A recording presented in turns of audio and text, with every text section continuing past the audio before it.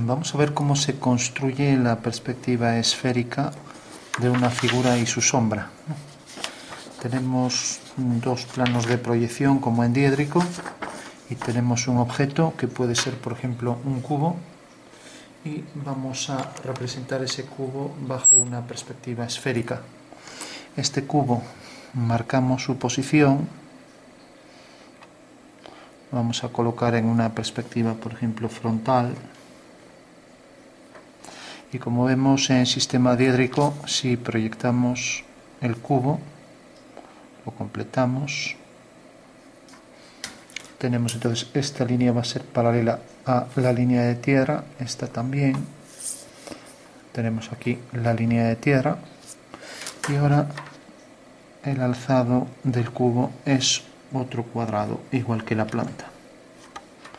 Bueno pues la clave es saber realmente cuál es la perspectiva de este cubo bajo un plano de cuadro esférico. El plano sobre el que se dibuja este cubo puede ser una esfera, como esta, y el punto de vista está en el centro de la esfera. Si de repente alineo todos los vértices con el centro de la esfera, aquí me sale, al proyectar también todas las aristas sobre la esfera, me sale el cubo con sus líneas curvas, ¿no? y es la perspectiva esférica de esta figura. Lo que pasa que el, punto de vista que está en el centro de la esfera sigue viéndolo exactamente igual a esto.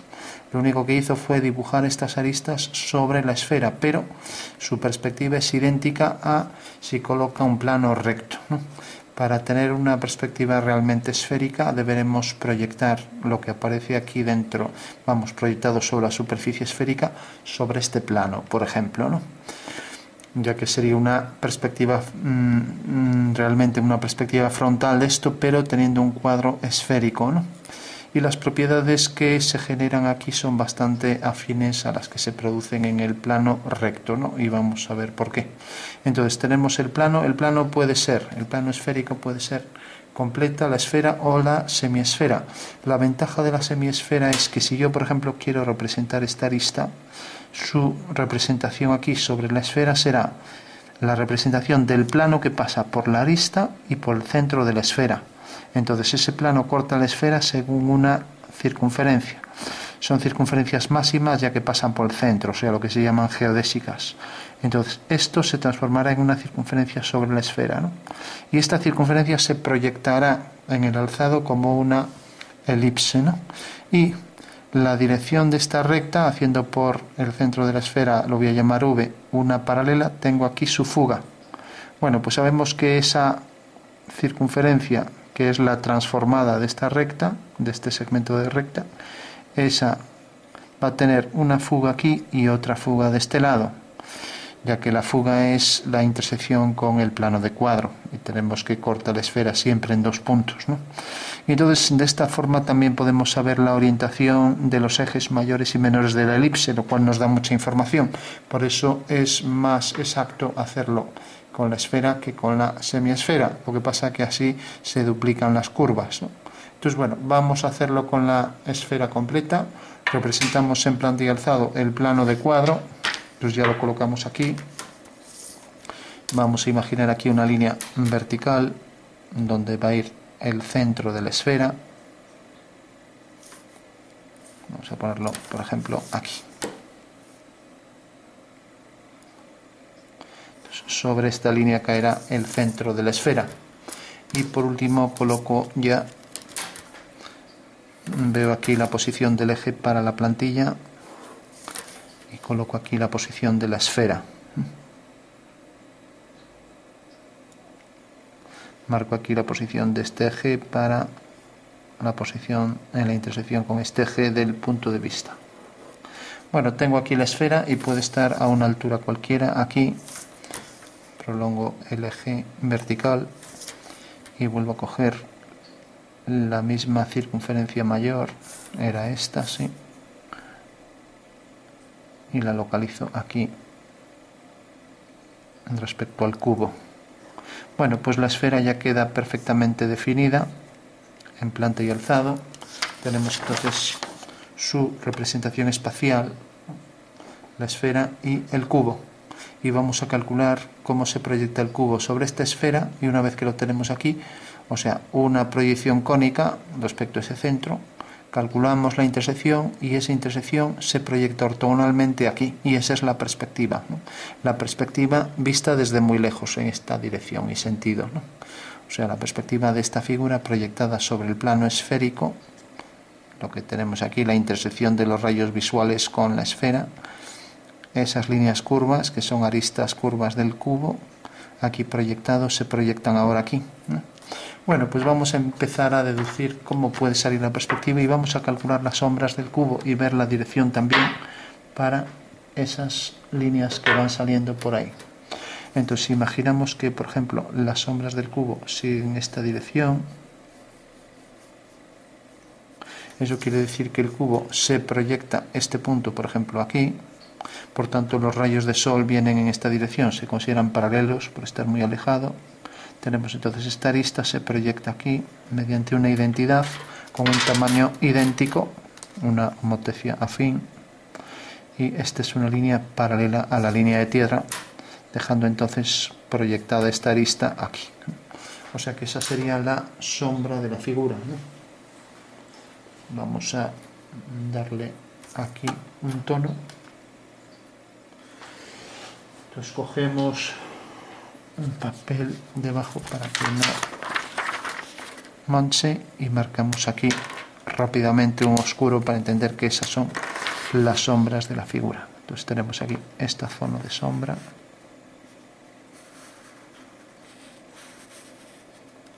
Que viene todo por aquí. Y aquí igual. Queda muy oscuro pero bueno. Marcamos aquí la posición viene por aquí. O sea que esta sería la sombra del cubo que vamos a calcular también. Cómo se proyecta sobre la esfera. Lógicamente aquí esta línea, aunque las líneas no tienen grosor, para que se entienda un poco mejor, esto quedaría en sombra y la sombra se proyectaría hasta este punto. O sea que vendría por aquí hasta este punto. Eso sería la sombra. Bueno, tenemos ya entonces el cubo en alzado con sus sombras, sabiendo que la dirección, la dirección del rayo es esto y vamos a calcular la sombra sabiendo que esta es la esfera que va a obtener la intersección con, evidentemente, las líneas de intersección, o sea, los vértices del cubo quedarán sobre estas líneas proyectados en la esfera. O sea que habría que proyectar todos los vértices, este ya está proyectado, y va a quedar sobre la superficie esférica. Y aquí exactamente igual, o sea, tenemos por ejemplo este punto, a ver, este punto de aquí, este de aquí, etcétera. Aquí marcamos esta línea mejor definida. Bueno, por tanto, las perspectivas de estos cuatro vértices y los cuatro de atrás, pues quedarán sobre estas cuatro líneas. Esto tiene que quedar más hacia aquí y esto más hacia aquí. Y aquí exactamente igual. Estos cuatro vértices quedarán proyectados ahí en la esfera. Y ahora vamos a deducir por dónde pasarán las fugas, que eso es lo más importante. Y para eso es una cuestión de cálculo de intersecciones. Este punto lo proyectamos hasta aquí y este punto del cubo hasta aquí y esto hasta aquí. Bueno, pues decíamos, íbamos a calcular la dirección de las fugas. Estas líneas siguen esta dirección, por lo tanto este es el punto de fuga. ¿no? Será la fuga de todas estas líneas, ¿no? de esta dirección. Vamos a llamar a esta recta C, pues fuga de C y lógicamente aquí como es ortogonal al cuadro seguirá esta dirección esto será la fuga de C coincidente con V sub 2 V es el punto de vista y aquí queda aquí abajo ¿no? o sea tendría el cubo está aquí y si hacemos por V una paralela esa paralela corta corta aquí en este punto por el ecuador de la esfera ¿no? bueno pues ya tenemos una fuga ¿no? ahora si hacemos la fuga de esta línea esta línea la vamos a llamar, por ejemplo, D. Este es D, este es C. Hacemos una paralela y es este eje horizontal. Eso quiere decir que f sub d estará aquí y aquí. Vamos a poner aquí prima. Siempre, como ya dijimos, las fugas tienen en la intersección con la esfera dos puntos, ya que es una recta que pasa por el centro de la esfera y diametralmente opuesto encuentra su otra fuga, f'c aquí. Con lo cual ya tenemos la fuga de todas las líneas que siguen la dirección en D. Ahora vamos a ver, por ejemplo, esta dirección. Podemos simularlo también aquí en el espacio. Tenemos el cubo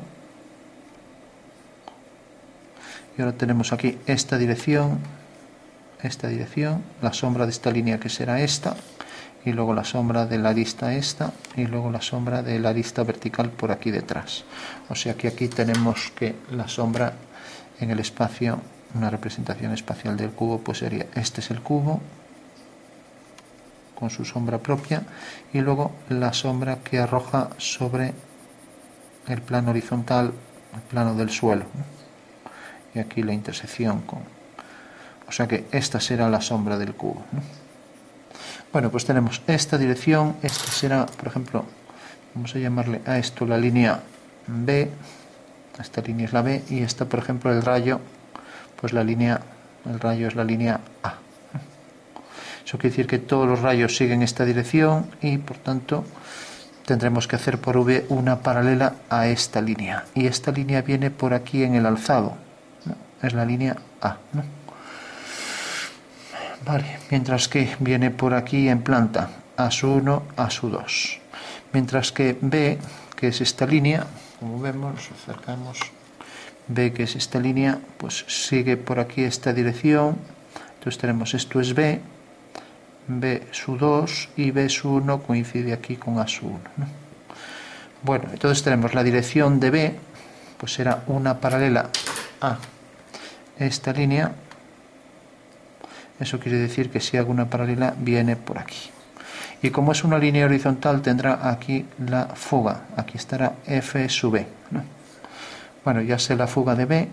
Y ahora la fuga de C, no, perdón, de A es la más complicada porque es una línea oblicua. Lo que sí estas tres líneas, esta de la arista vertical, la arista vertical por V sigue esta dirección, entonces quedará aquí la fuga, ¿no? Quedará aquí arriba.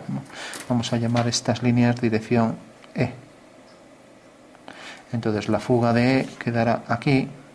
A ver qué está saliendo fuera. Tenemos fuga de E y aquí abajo. ¿no? Aquí teníamos fuga de D en una horizontal, fuga de D Vamos a olvidarnos ya. Podríamos dejar los primas para los puntos que no vamos a utilizar. Por ejemplo, FB nos interesa la parte de adelante, ¿no? Teníamos, entonces subimos este punto mediante una vertical y FDB queda aquí. Bueno, decíamos que FDB B era esta recta, esta de aquí, o sea, la sombra de una vertical. A es el rayo de luz, que sigue esa dirección por aquí, por el espacio, entonces A seguirá esta misma dirección. Vale, lo que pasa es que hay que calcular su posición exacta. Entonces tenemos que esta es la posición en alzado, hacemos esa posición en alzado por el punto de vista, por V 2, y donde corte esta línea, que también es esta, esto será A 1, A 2, donde corte esa línea la esfera, pues es donde realmente está la fuga de A. Vamos a ver dónde es. Entonces, para eso, como sigue esta dirección, cogemos esa dirección, hacemos aquí una línea paralela, colocamos aquí la línea de tierra y tenemos un cambio de plano, una vista auxiliar. Entonces la esfera de repente está a esta altura, medimos la altura a la que está, ya que eso es invariable, y tenemos que la altura es 4, bueno, 3,9. Entonces haciendo aquí una línea perpendicular a esto, una línea perpendicular, cogemos aquí 3,9 y tenemos ahí el centro de la esfera. Volvemos a marcar aquí la posición ahora nueva de la esfera y hacemos el abatimiento de esa recta, con lo cual obtendremos ya la intersección. Esto habría que hacerlo siempre para muchas rectas, pero lo vamos a hacer solo con una, v sub 3.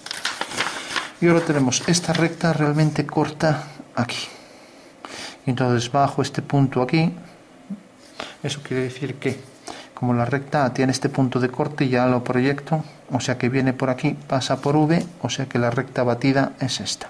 Pondremos A abatida entre paréntesis bueno ahora ya sabemos que el punto de corte exacto es este con lo cual ya lo podemos proyectar mediante una perpendicular y este es el punto de intersección bueno ese punto de intersección como decíamos pues bueno venía por aquí y sigue esta dirección por el plano en planta viene por aquí bueno, o sea que esto será la fuga de que llamábamos de la recta A F su A y ahora como la recta A la tenemos aquí subimos este punto y tenemos aquí la posición exacta de la fuga de A.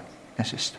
Ni que decir tiene que la fuga de A, la fuga de C, pues si está bien dibujado será pertenecerá a este arco elíptico que pasa por F sub C, ya que es en realidad la representación este arco elíptico de la sección que pasa en paralelo a esta dirección, o sea, en paralelo al plano AB, ABE que es esto también.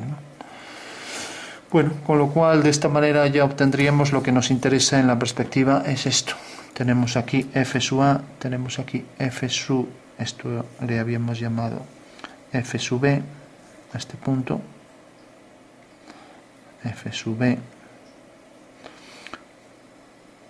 o sea, F sub B es esto y el que es coincidente con este es F sub C lo tenemos bien escrito F sub C con esto y F sub B es esto.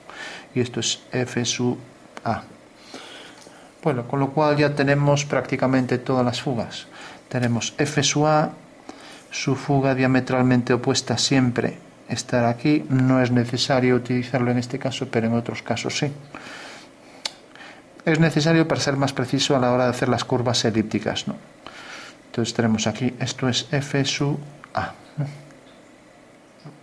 F sub A.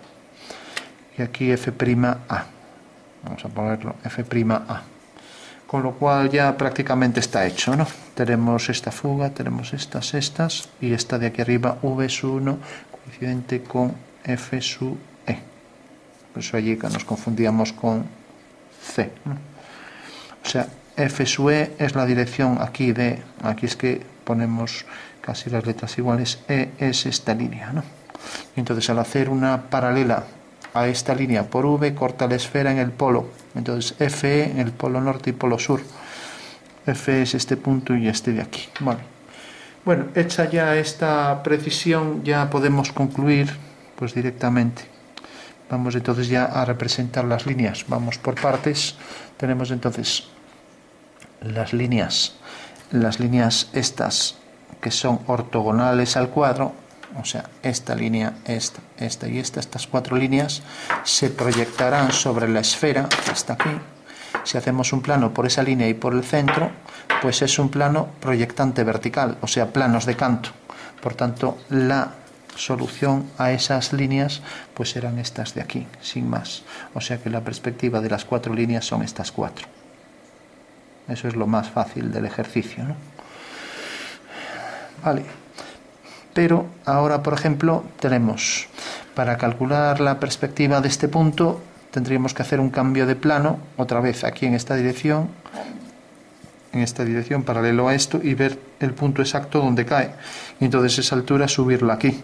Es una forma de calcular todos los puntos rápidamente. Otra sería hacer las elipses las circunferencias de sección que se proyectan según elipses es mucho más complicado, pero bueno, aquí también hay que armarse de paciencia, porque realmente el plano que pasa paralelo a este, pues haríamos el plano, tenemos entonces aquí una paralela, entonces yo lo voy a hacer en un caso, habría que hacerlo con los, al menos con mm, estos cuatro puntos, porque los otros cuatro están en, en la misma proyección, ¿no? entonces hago cambio de plano siguiendo esta dirección esta dirección que estoy calculando el punto C.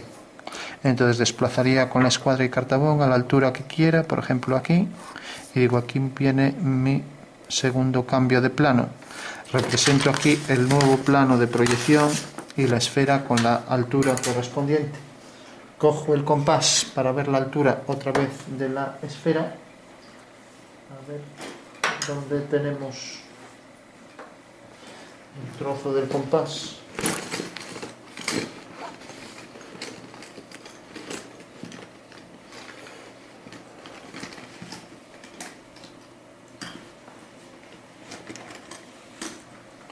Entonces cojo aquí esa altura y haciendo una ortogonal, otra vez, otra ortogonal aquí, a esta línea, cojo la altura de la esfera,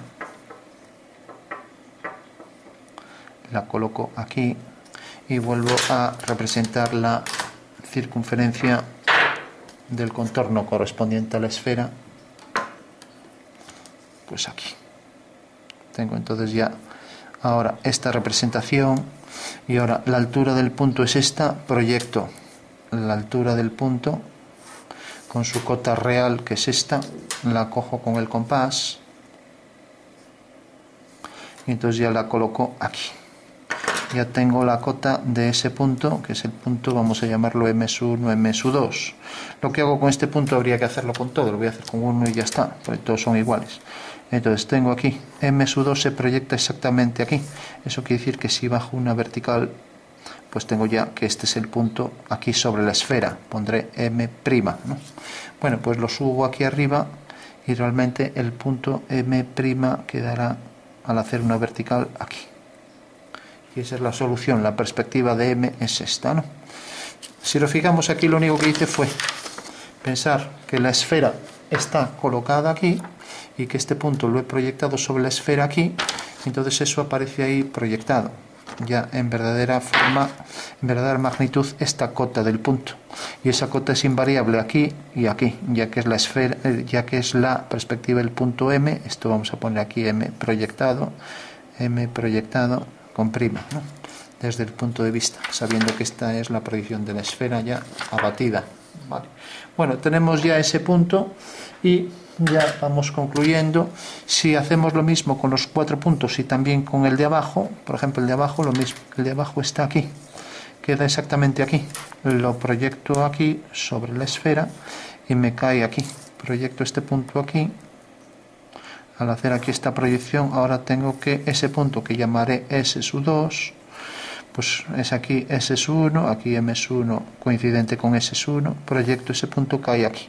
Bueno, pues ahora cojo la cota esta con el compás, esta cota, antes cogí la cota este y la coloqué aquí, ahora cojo la cota de S y la coloco en su perspectiva. La perspectiva de S queda aquí, levanto una vertical, y ahora sé que la perspectiva de S queda exactamente a partir de este punto en la línea de tierra, tengo aquí ya ese punto. O sea que esto es S'. O sea que ya tengo este punto y este. Esto será S', esto será S y esto será S'. Bueno, con lo cual ya tengo ahí dos puntos. Sé también que todas las líneas verticales de aquí son elipses cuyo extremo es este. Por lo tanto, si este es el extremo de esta, de esta recta, eso quiere decir que el plano que pasa por esa recta corta aquí. Proyecto ese punto y por tanto ese punto viene a parar aquí. Este punto lo hago mediante una vertical y viene a parar aquí. Por lo tanto, la perspectiva de esta vertical pues será una línea que tiene la fuga aquí y aquí y que pasa por esos dos puntos. ¿no? Ya que esa es la arista de, extremo del cubo, entonces será un trozo de elipse que pasa por esos puntos y pasa por F sub, esto era F E, o sea que ya que esto es E, pues F E queda en esa dirección. Bueno, entonces ya sabemos que viene por aquí. Si hacemos lo mismo con todas las aristas, pues de repente el contorno de esto lo proyectamos aquí, y entonces ya hacemos la elipse que viene por aquí, entonces tenemos la línea de atrás. Entonces quedará el punto aquí y quedará el punto aquí. Ya tenemos la cara de atrás. Si hacemos lo mismo con esto, será una elipse cuyo eje, nos acercamos un poco, cuyo eje menor viene por aquí, entonces será una elipse que viene por aquí. Y como corresponde, estaba cogiendo, si no recuerdo mal, esta, Bueno, esto ahora cojo esta. El eje, este es el plano que pasa por esta arista y realmente es una sección de una circunferencia que pasa por aquí. O sea que el eje es este. Estaba cogiendo otro antes, es este. Bueno, por lo tanto viene por aquí. O sea, esto es la que corresponde a la línea de atrás y corta la línea de atrás en este punto y corta en este punto. Por lo tanto, tengo otros dos puntos. O sea que voy marcando los puntos del cubo. 1, 2, 3, 4, 5 y 6. Bueno, y por último tengo esta que viene por aquí, el extremo es este, proyecto este punto, es el que estaba haciendo antes, y ahora hago la elipse que pasa, que tiene este eje menor y este eje mayor. Eso queda perfectamente definido, por lo tanto la curva es esta, y corta en este punto, ya que corresponde a este, y corresponde a este, y en este. Ahí tengo los otros dos puntos de la elipse. Y ni que decir tiene que estas aristas, todas las que vienen por aquí, pues corresponde a estos puntos. Y las fugas son, están aquí en FD, FD. O sea, FD que es este punto y este. Por lo tanto ya sé que el cubo pues tendrá que venir. Pues por un lado la línea, la línea más alejada será la sección esta y que pasará por estos cuatro puntos. Entonces ya puedo trazar por aquí, viene por aquí, por estos dos puntos, por estos dos. Y este es el arco elíptico, que es una sección de geodésica que pasa por el centro. O sea que es desde el centro de la esfera hasta esta recta del cubo y corta a la esfera según aquí este arco, un arco elíptico que viene por aquí. Lo mismo pasará con estos dos puntos. Bueno, trazamos entonces la cara superior, viene por aquí, será otra circunferencia que se proyecta según esta elipse, la de abajo será otra que se proyecta según esta elipse, y estas para hacerlas con precisión las podemos hacer aquí, por ejemplo, si representamos el cubo aquí y lo proyectamos aquí, ahora convendría lo podemos proyectar donde queramos, si queremos lo podemos proyectar en esta dirección así, es la más fácil, ya. Lo digo para, si yo tengo aquí la esfera cojamos la esfera, tengo aquí la esfera y tengo aquí el plano que pasa por aquí, pues produce aquí una sección que la puedo proyectar aquí. Entonces la proyectaría aquí, proyecto aquí el cubo, aquí tengo entonces el cubo proyectado, aquí ya lo vamos a hacer en plan rápido porque es todo el tiempo lo mismo, ¿no? Ahora el cambio de plano queda aquí, la esfera queda aquí y el plano que pasa por esta arista, coloco aquí la esfera otra vez y el plano este es tal que me, me, detecta aquí este punto. Bueno, pues este es el punto más bajo que debo bajar aquí. Y este punto proyectado aquí ya sé que tiene esta cota. El punto de esta línea. Ahora tendremos luego la de esta, ¿no? que corresponde realmente a esto y corresponde a esta cota a esta cota. Bueno, pues estas cotas las subo aquí, son en realidad esta distancia, esta otra, esta otra. ¿no? Entonces estábamos hablando, por ejemplo, de la arista que viene por aquí. La arista que viene por aquí corresponde a esta. Y entonces me va a dar aquí esta distancia. Bueno, pues la distancia desde aquí hasta aquí abajo es esa cota que llamaré P, por ejemplo, ya que C existía, y es la cota esa. O sea, desde esta arista, desde esta arista me provoca aquí realmente que al proyectar sobre la esfera pues tiene esta medida. Bueno, pues esa medida es la que debo colocar aquí y ya sé que realmente va a ser el eje menor de esta elipse que pasa por estos dos puntos. Bueno, de esta manera puedo definir con total precisión todos los arcos elípticos. Bueno, por último teníamos este que mm, correspondía aquí a FA y este que correspondía a FB.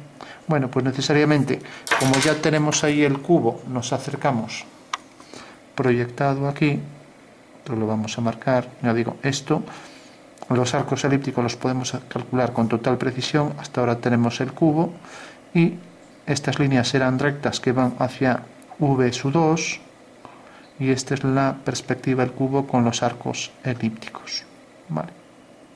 Bueno, por último, sabemos que hacia aquí siguen estas líneas estas líneas que siguen todas esta dirección y es la dirección hacia f sub b que calculamos antes, aquí, abatido incluso, con su cota exacta, ¿no? Bueno, eso quiere decir que realmente esto va a ser a partir de estos tres puntos, este punto y este quedarán alineados también aquí en una elipse por detrás, ya que corresponde esta recta, y esta recta es cortada aquí según un arco elíptico, ¿no? Y eso lo veíamos aquí. Bueno, pues decíamos, esta estas tres líneas que salen de aquí, estas tres líneas que salen de aquí van hacia f sub b. Por tanto, ya podemos decir que es una línea que viene por aquí hacia f sub b y que tendrá esta curvatura ya que el centro está aquí, ¿no? Y por tanto, esta será, por ejemplo, la elipse, teniendo aquí este eje pues igual que este, ¿no? O sea que si viene por aquí el arco elíptico y sabiendo que viene por aquí, pues tendrá aquí ser asimétrica este punto respecto a esto. ¿no? Y pasará también por el simétrico del punto FB, o sea, aquí pasará FB', F'B, ¿no? o sea que será un arco elíptico que viene por aquí. Pero pasará lo mismo con los otros, aquí tendremos otro arco elíptico y aquí tendremos otro arco elíptico, de manera que aquí nos quedan las tres elipses. ¿no? Bueno, por tanto, las tres curvas elípticas vienen por aquí. ¿no? Bueno, y por último habría que representar esta línea. Esta línea lógicamente coincide, como pasa el plano, el plano límite pasa por aquí, eso quiere decir que coincide con esto. Por tanto, la sombra llega hasta aquí. Y a partir de aquí será otra línea paralela a esto, o sea, un arco elíptico que tiene estas mismas fugas, o sea, que tiene esas mismas fugas. O sea, un arco elíptico que va por aquí y por aquí tenemos en consecuencia ya esta línea, esta que baja en vertical y esta que viene por aquí hasta F sub B. Con lo cual está ya completa la figura. La sombra que obtendríamos sería este fragmento, luego esto en sombra y esto es el cubo con su sombra en la perspectiva curvilínea. Sabiendo que estos son arcos elípticos que van hacia F sub B. Este también y este de aquí atrás también y podríamos completar las elipses de manera que sabemos que el centro queda aquí y que este arco elíptico tiene siempre su simétrica respecto a este centro y pasa siempre por el simétrico de este punto, con lo cual también quedan perfectamente definidas, ¿no? O sea que serán tres elipses distintas, ¿no? Bueno, estaría ya completa. Tenemos entonces ya que la sombra de esta cara, estas son líneas rectas, luego esta será una línea curva, otra línea curva, a ver que esto no escribe, otra línea curva, y luego esta curva hacia F sub B, esta también hacia F sub B y por aquí detrás hacia F sub B, tres arcos elípticos y luego esta será una curva que va hacia F sub D y esta será una línea recta que va hacia F sub C, ya que sigue esta dirección de la figura. Bueno, pues de esta forma podríamos obtener siempre todos los elementos en una perspectiva y todas las fugas corresponden a esos elementos. Las fugas, y con toda precisión, las fugas las hacemos en los abatimientos, en los cambios de plano, que son abatimientos, ¿no? es nuevas proyecciones. Cuando, por ejemplo, hacíamos la esfera que se proyectaba ahí y proyectábamos también las alturas del cubo ahí. Y obtenemos así la perspectiva curvilínea ya de toda esa figura. Recordamos que el fundamento el fundamento de esto es, hay que entender el fundamento, que es lo más importante. Tenemos aquí el cubo, tenemos aquí la esfera proyectada, tenemos la configuración espacial aquí. Y al hacer las intersecciones de los rayos con la esfera, tenemos aquí la curvatura de todas estas aristas, que ahora esto es una perspectiva cónica realmente, pero el punto de vista lo ve exactamente igual que esto. Lo único que hace es dibujarlo sobre la esfera. Pero ahora lo que queda aquí proyectado sobre la esfera lo proyectamos ortogonalmente. Es como una proyección ortográfica, exactamente igual. Bueno, por último, cogeríamos ya para simular que esto es una representación espacial, podríamos coger aquí, dar una tonalidad, por ejemplo, en oscuro en los laterales, así, para simular que esta es la representación de la esfera. Entonces oscurecemos un poco por aquí, por el borde, y podemos coger un difumino y extender un poco el oscuro de fuera hacia adentro, simulando que esto es una forma esférica. Bueno, pues esa sería la representación esférica de todo esto. Y decíamos que la sombra de la figura pues era esta y luego proyectaba, esa era la sombra propia y esta era la sombra que arrojaba sobre el plano horizontal, sobre el plano del suelo. Tenemos ella, entonces completa la figura, la sombra de la figura. Mientras que aquí teníamos el cubo que podemos remarcar para que se vea más claro, que viene por aquí. Sea que esta sería la representación en alzado del cubo, vamos a sombrearlo un poco, y esta la representación en planta.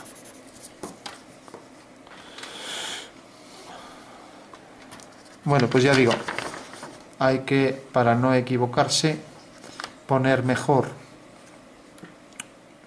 construir si podemos la maqueta, y una vez ya que tenemos la representación tridimensional, ir viendo que todas las líneas que vamos obteniendo pues son líneas que en realidad son reales, ¿no? porque la estamos proyectando sobre los planos y la podemos ir dibujando. Bueno, pues esa es la representación en una perspectiva curvilínea o sobre una esfera de ese cubo con sus sombras, habiendo obtenido ahí la representación de las curvas elípticas que son proyecciones de circunferencias. Hay esas tres líneas de fuga que corresponden a las tres líneas de sombra y luego tenemos aquí la esfera, la esfera a cierta altura. No, no hay que olvidar nunca que todo esto de la geometría descriptiva es en realidad algo correspondiente a algo espacial. O sea que tendríamos realmente aquí unos elementos en el espacio que se proyectan para obtener esa representación en perspectiva. Entonces tendríamos esto y tendríamos ahí la esfera a cierta altura. Y ese sería el fundamento espacial de este sistema en perspectiva esférica. Y esto lo podríamos aplicar a cualquier figura sea esfera, sea cilindro, sea un cono, o sea que siempre podemos obtener la perspectiva de cualquiera de estas figuras.